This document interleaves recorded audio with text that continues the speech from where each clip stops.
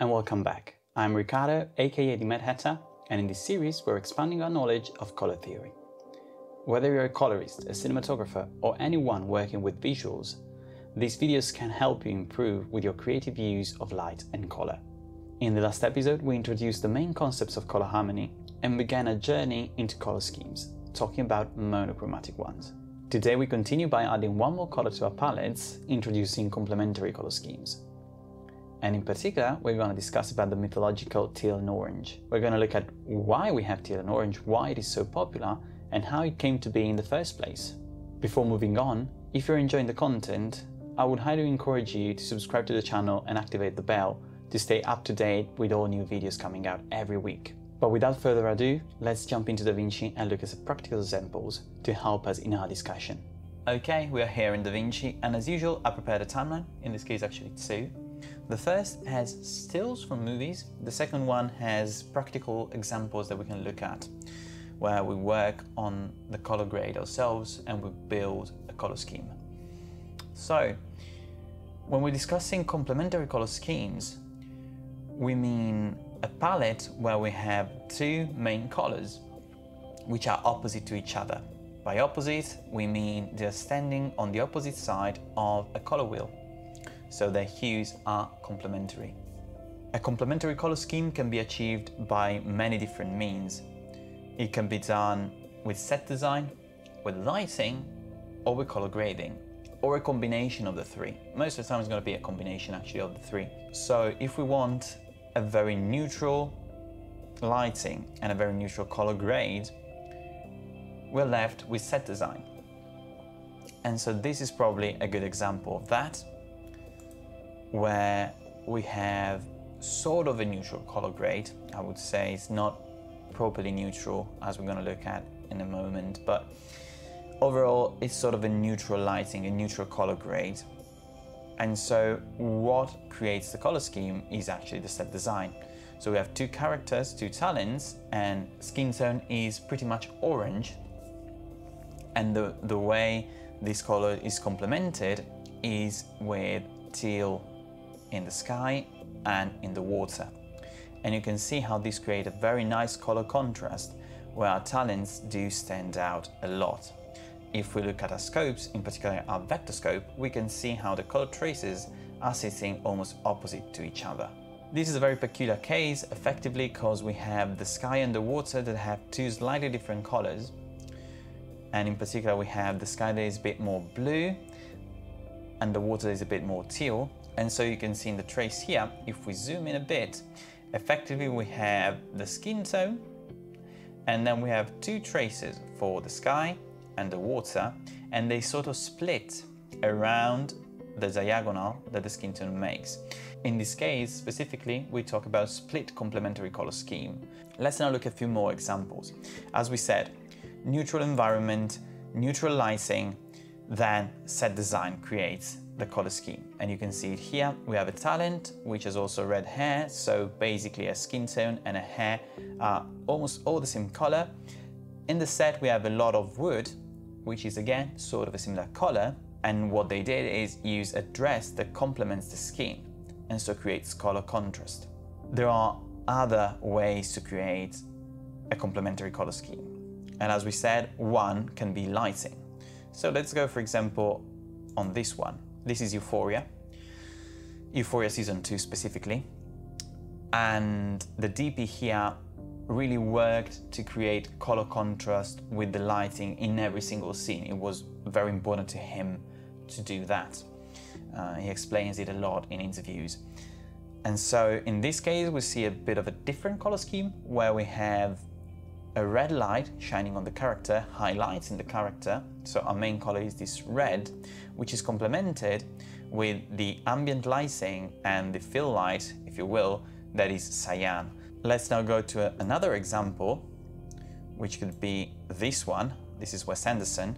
And again, here the complementary color scheme is achieved mostly by lighting, where we have the key light that is very warm and the fill light which is quite cool. And as we can see, well, we have a lot of then color in the background going on, so we can see it's spreading around the orange.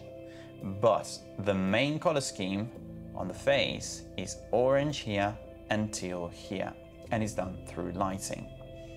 Let's now go to one more example, this one. And in this case, the color scheme has more to do with the color grade.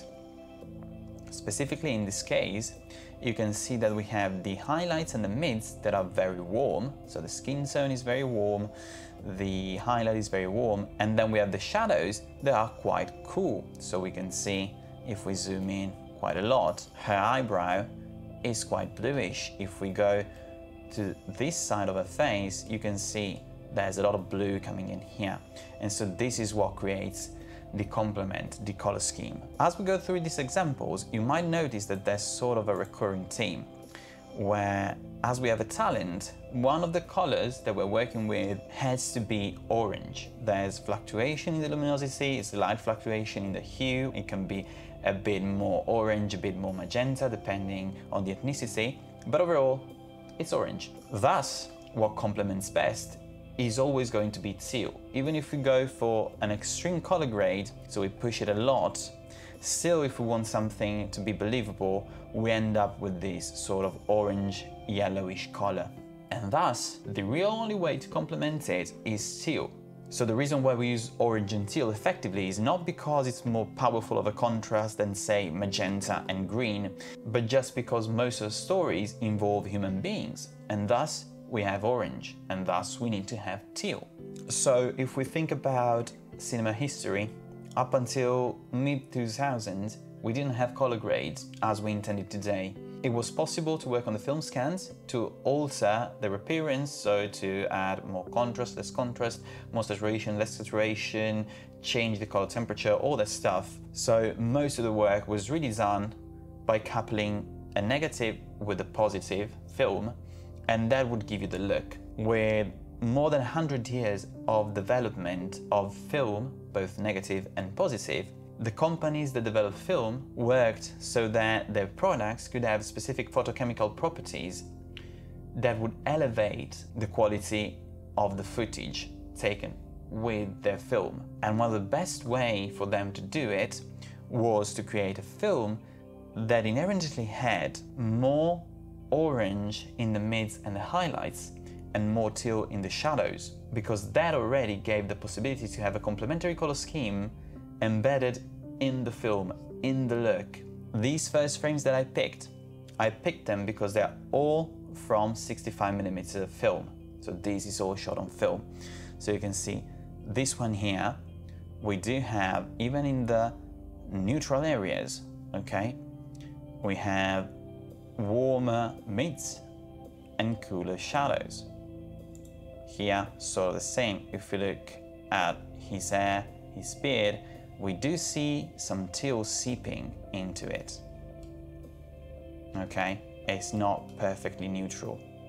This one, well, we already saw this is probably the one where it's most evident, especially if we compare this area to this area, you can definitely see the transition. Of course, this is probably at this day and age aided by the fact that we have digital intermediates, right? But still, you know, again, shot on film, you can see even the darker areas here, they are slightly cooler, okay? And again, all these are as well, okay? This is all, all, all shot on film. And the crucial thing to understand here is that when you're doing orange and teal, the orange is meant to be mostly in the midtones. Because also what you have to understand is that with film, the more you go up with the exposure, the less saturation you can get. This is because, as we saw in the previous videos, film works with subtractive color. So if, we, if you want more saturation, inherently you're lowering the exposure. Another way around, the higher going the exposure, the less color you need to have in there. So effectively, where you can inject color in film is the mids. And this property also ties into how we see. Because another big misconception that we have is that we like film because it's film, because we're used to see film, and so that's what we're used to, so that's what we like. Effectively, film was developed to be pleasant.